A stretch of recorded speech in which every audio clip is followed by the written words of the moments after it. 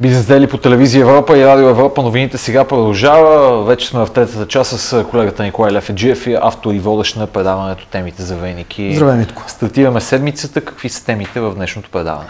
Стартираме с това, което се случва през последните няколко дни. Напрежение относно високите цени, поне така се говори, на застраховка гражданска отговорност, въвеждането на системата бонус-малус, която е свързана именно с тази застраховка на автомобилите. Съчетано с други две теми, високите цени на горивата и по-високото облагане на старите автомобили, неминуемо тези две теми ще се политизират, както и наблюдаваме. Но целта ни е тук ние да погледнем по-експертно на това, да поговорим защо се вдигат цените на гражданската отговорност. Ще стигнат и 1000 лева, макар че днес всички чуха, че това е спекулация от страна на финансови министр, пък и мисля, че и самите професионалисти в застрахователния бранш ще го а, кажат а, със същата сила. Та, затова днес в студиото ще ни гостува заместник председателя на Асоциацията на застрахователите госпожа Светла Несторова. А от друга страна а, ще видим и погледът на експерта по безопасност на движението, господин Йонко Иванов, който е председател на Съюза на преподавателите по автомотоподготовка. Всичко това на фона на едно решение, което бе взето още в края на юни месец, да припомним на нашите зрители. Yeah. То е на Върховния касационен съд. Свързано е с разширението на а, кръга от лица, които получават обещетения при неимуществени вреди. Съответствие чувствително това, разширение, можем да кажем. Чувствително решение. Във връзка с това бе взето предложение да се ограничи а, при смърт тези обещетения до 20 000 лева и оттам насетне се започна цялата тази дилема. Ще видим какво ще ми отговори и госпожа Несторова във връзка с това, което се в социалните медии се появява, че едва ли не тези поправки са в интерес само на застрахователите, да. че те печелили по милиони и така нататък и така нататък.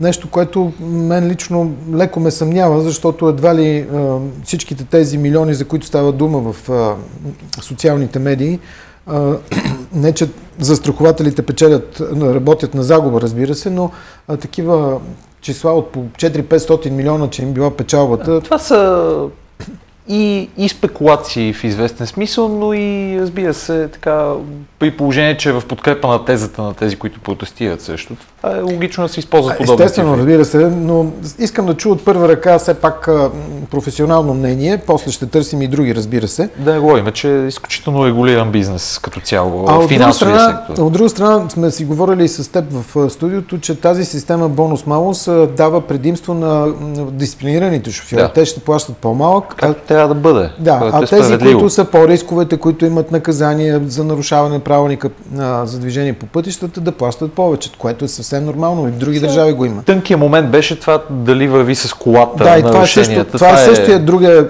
доста важен момент да го уточним, защо са решили, поне така да се въведе, да вървят застраховката с колата, а не с шофьора. Това е първата част от 17.35, веднага след новините в 17.30. А веднага след новините в 18 часа е втората част? Втората част, ние може би забравяме, че най-важният разговор в края на всяка година е този за бюджета. На първо четене той премина в парламент, от тук следват финните настройки, но както и да е, план сметката на държавата засяга всеки един отделен човек – отразява се на развитието на всеки един сектор в економиката, пък и на цялото общество.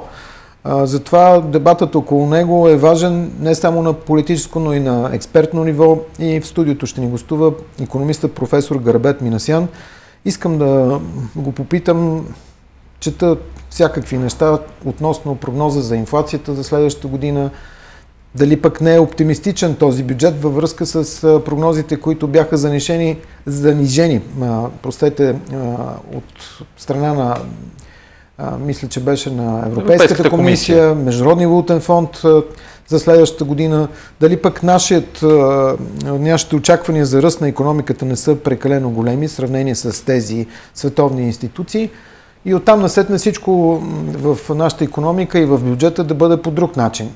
Ще, разбира се, ще говорим и за тези харчове, които са предвидени. Да. Дали пък не са на фона на това, че има социално напрежение, избори до година и така нататък и така нататък. Добре, благодаря много Николай Лефеджиев, автор и водещ на предаването темите, което започва след броени минути по нашата телевизия. Останете с телевизия Европа.